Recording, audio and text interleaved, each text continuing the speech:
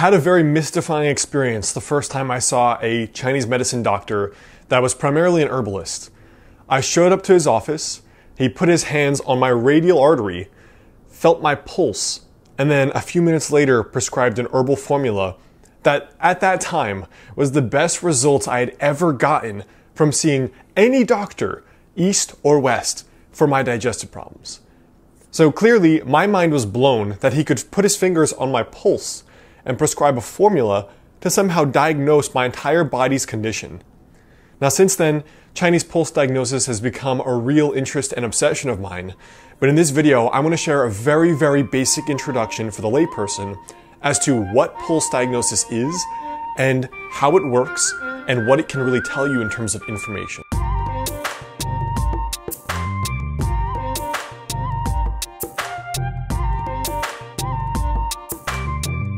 Hey guys, Alex Heyne, author of the health book Master the Day. So I've included a free download there below the video, which is five daily rituals that can possibly help you add 10 years to your life with traditional Chinese medicine. So you could check it out right there, the link in the description. Now, pulse diagnosis is actually something that ancient physicians used, East versus West. And in Chinese medicine, and also in a certain sense in the Persian countries, it became a developed specialized science. Now, to the point where you can go from the very basic objective criteria in a pulse, like the rate, like some aspects of the quality in terms of what you feel, but also very specific things unique to Chinese medicine, like the individual pulse positions reflecting the state of even different organs. But in general, what you've seen throughout medical history is that some sciences or some medicines or medical systems left out pulse diagnosis as time went on and others used it as an increasingly specialized system to diagnose and treat certain patterns of imbalance in a person's body. So, what is Chinese pulse diagnosis? Now, pulse diagnosis essentially is where a practitioner puts their fingers, typically three fingers, on the radial artery, so on the side of your hand where your thumb is, where you can feel the pulse. And typically, the first section is called the cun, the first being the distal, the closest to your hand. The second position is the middle position, which is called the guan.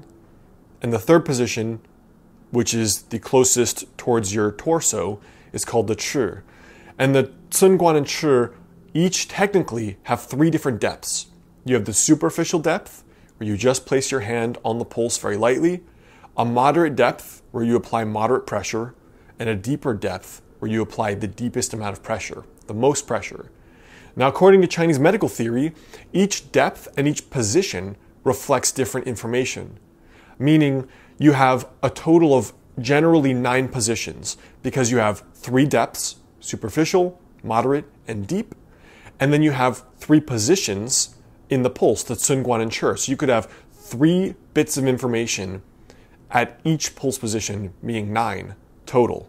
And then from there, you can even get even more specialized. But as a general trend that Chinese medicine practitioners agree upon, you see three positions, and generally there are three depths to each position. Now, to go even into more detail, different pulse lineages describe different pulse positions differently. So, generally speaking, on the left hand, the first position closest to the hand is the heart and small intestine, and the second position is the liver gallbladder, and the third position is usually generalized to be the kidney and often some other organ as well, depending on your lineage. So, according to Chinese medical theory, there's a lot of information that can be gleaned from the pulse. And it seems mystical or pseudoscientific, but there's some really interesting correlations that you can see objectively, subjectively in the pulse. So, really, the basic qualities in pulse diagnosis are very simple. When a Chinese medicine practitioner puts their hand in your pulse, they usually notice three qualities that are truly objective. The first three things are the depth, so essentially, you put your hand in the pulse. A pulse frequently will feel very superficial. You feel it right on the surface of the skin. And there are also many pulses in people that are older or with serious illness where you have to go all the way to the bone to feel the pulse. So, depth is one quality. The second quality is the rate. So, some people's pulses you feel and it's 45 beats per minute. Some people it's 90 beats per minute. Those are really important diagnostic indicators that are pretty objective. And the third thing is some aspects of quality are truly objective. With even a little bit of training, sometimes you can put your fingers on the pulse and it feels hard like a guitar string. and sometimes you put it on it and it feels mushy like soggy toilet paper. Those qualities are very useful in Chinese medical diagnosis for understanding the base state of vitality in the person and where things are maybe getting kinked up and maybe they're going wrong. So, for example, maybe you have a patient that comes in and let's say she's an 80 year old woman and she's complaining of feeling freezing cold, having body pain, and just wanting to sleep all the time. All right, very cliche example. You feel the pulse, the pulse is all the way down to the bone and so weak it's almost imperceptible. Now, to a skilled herbalist, this may be one indication of using a Fuzi formula, an aconite formula. So, that's a very, very rudimentary textbook example, but some symptoms are strongly correlated with certain pulses and others are not. Certain body types are correlated with certain pulses more often than not, and others are not. So it's the skilled pulse diagnostician's ability to ascertain when is the pulse useful information and when it's not. But a great pulse diagnostician can do things that are pretty amazing to see.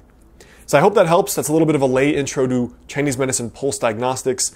Again, I've included a free link down there below for a PDF on five daily rituals that can help you add 10 years to your life with Chinese medicine.